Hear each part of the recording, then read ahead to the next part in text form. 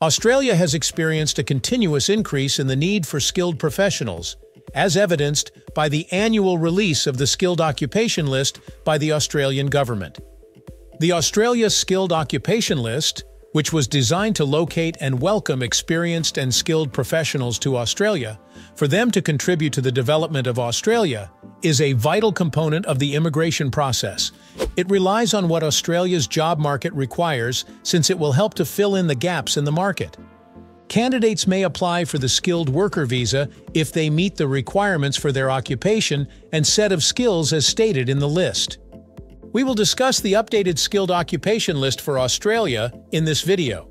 Additionally, we will walk you through how skilled occupation list is used for Australia immigration, which will allow you to determine how to increase your Australia visa chances. Australia Short-Term Skilled Occupation List Over 200 occupations are included on Australia's Short-Term Skilled Occupation List, and these careers are in high demand across Australia. The program offers the following visas. Subclass 190 Skilled Nominated Visa, Subclass 186 for direct entry through Employer Nomination Scheme Visa, Subclass 457 Temporary Workers Visa, and Subclass 407 Training Visa. When assessing immigration applications, Australia has a point system based on this list, and occupations with constant demand include engineers, IT specialists, healthcare providers, and educators. Australia's medium and long-term strategic skills list. The Strategic Skills List is also utilized by Australia's Skilled Immigration Program. Visa Subclass 189 allows you to enter Australia without the need for government or employer sponsorship.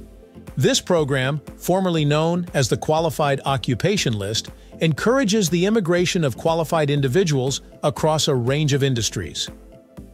Regional Occupation List for Australia Immigration The skills in this list are specific to regional migration programs and apply to TSS, 489, and other subclasses of visas.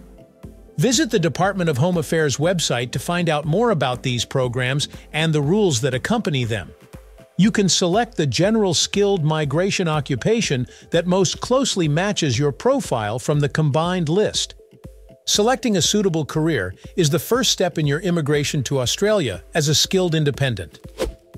Australia Draft Core Skills Occupations List The temporary skill shortage visa will be replaced by the new Skills in Demand visa which will have three pathways – specialist skills, core skills, and essential skills according to the Australian government. Similar to the skilled migration occupation lists used for the TSS visa, the Core Skills Occupations list will be one of the requirements for the Skills in-Demand visa, with a concentration on the core skills pathway. The draft CSOL is based on jobs from ANZSCO skill levels 1 through 3 and is consistent with the 2022 ANZSCO catalog. The list is broken down into three categories – careers that are confidently advised for the CSOL, careers that are advised to be excluded from the CSOL, and careers that are recommended for focused feedback.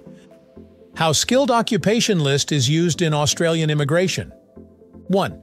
Visa eligibility. A profession that is listed on the SOL is required of candidates who desire to apply for certain skilled migration visas, such as the Skilled Independent Visa or the Skilled Nominated Visa, which serves as a reference for assessing visa eligibility. 2. Point System Australia's Skilled Migration Program assesses visa applicants using a points-based system. Points are awarded depending on a variety of factors, including work experience, age, education, employment, and English language proficiency.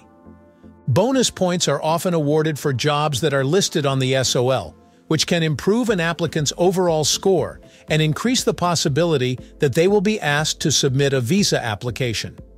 3.